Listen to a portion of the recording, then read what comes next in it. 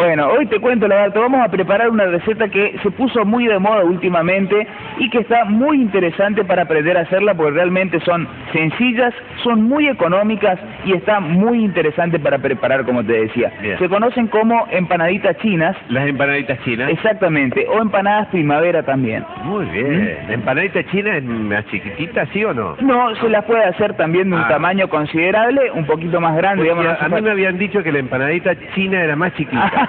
no, no, no, ¿No? Se las puede hacer del tamaño, digamos, podríamos Ah, decir claro. normal de una empanada común, pero tiene otra forma y la masa se prepara de una manera diferente también, ¿sí? Bien. Además podemos optar por una gran infinidad de rellenos, muy interesante para poner, por ejemplo, vegetales crudos y cocinarlos en el Ah. proceso de cocción, entonces conservan mejor su eh, su textura y sus nutrientes.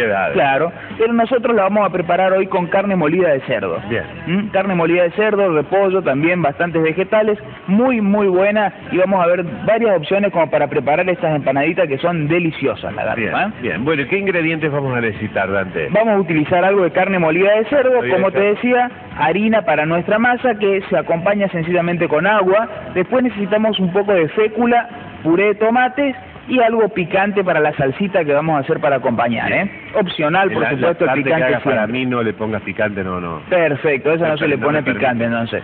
Y después vamos a utilizar zanahorias, bastante cebolla de verdeo y algo de repollo, ¿eh? Bien. Y con todo esto vamos a hacer el relleno que va a quedar buenísimo, ya vas a ver lo interesante que es el ¿Y a- sabor. ¿Aceite de maní? Vamos a usar un Muy poquito bien. de aceite de maní para darle sabor a la masa, lagarto, ¿eh? Ah, qué rico que la haces. Realmente resalta mucho el sabor y queda muy interesante agregándole unas gotitas en la masa, ¿eh? Bien.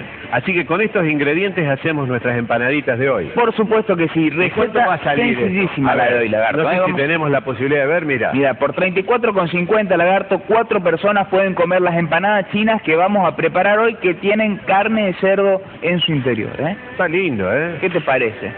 Bárbaro, me parece bárbaro porque yo no he comido nunca carne, este, mejor dicho, empanadita china. ¿Nunca te comiste una empanadita No, china? no he tenido la Qué posibilidad. bueno. Bueno, entonces Pero- hoy vas a poder probar una empanadita china, lagarto. ¿eh? Bueno, muy bien, ya vuelvo, Dante. ¿Cómo no, cómo no? ¿Vos te comés